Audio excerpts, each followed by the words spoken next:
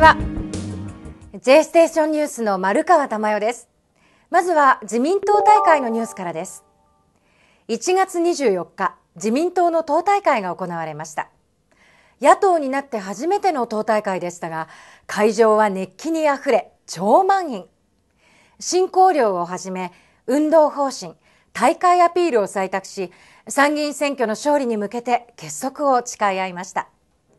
挨拶に立った谷垣総裁は自民党の新たな姿勢や民主党との戦いなど政権奪還に向け気迫のこもった決意を表明しました。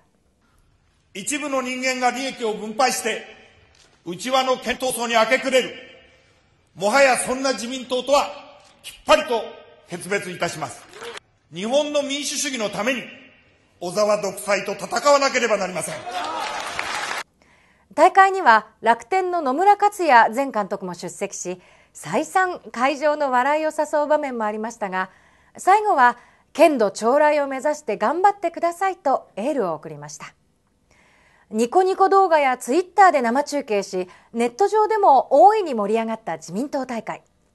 詳しい模様はお知らせチャンネルホットな出来事コーナーをご覧ください。次です。党大会に先立つ23日に自民党本部で政策ワークショップが開催されました。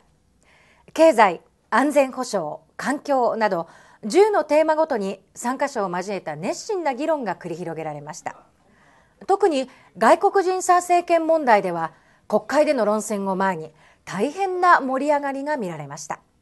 ここでコマーシャルです。自民党の新グッズエコバッグのご紹介です。種類は2つ。ブルーのデザインと白のデザインが楽しめるリバーシブルタイプ。もう一つはグリーンの一回り大きいタイプ。こちらはこのようにコンパクトに収納できます。自民党本部1階サービスセンターで販売しています。値段はどちらもワンコインの500円。通勤通学お買い物のお供にいかがですか？ニュースを続けます。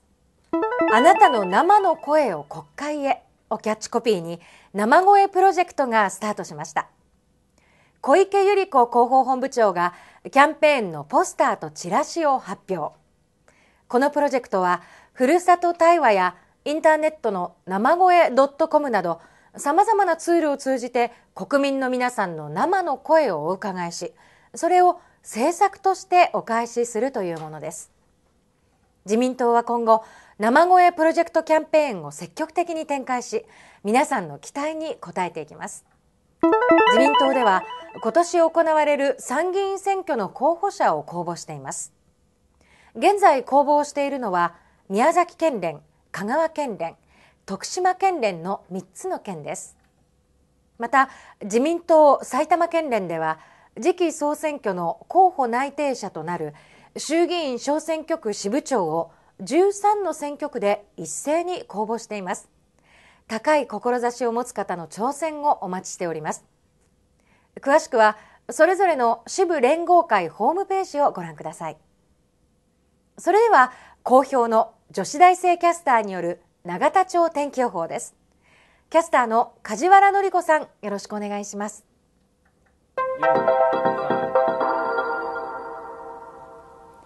1月23日から24日にかけての自民党地方は快晴でした。第77回の党大会が大盛況で、参議院選挙の必勝に向け、確かな明るい兆しが見えてきたようです。一方、民主党の鳩山地方は、行ってはすぐに撤回する、はっきりしないお天気が続いています。また、小沢地方では、元秘書の現職国会議員が逮捕、そして小沢幹事長自身も事情聴取を受けるという落雷がありました。引き続き注意が必要でしょう。以上、永田町天気予報でした。この永田町天気予報では女子大生キャスターを募集しています。詳しくは J ステーションの永田町天気予報キャスター募集コーナーをご覧ください。以上、J ステーションニュースをお伝えしました。次回お楽しみ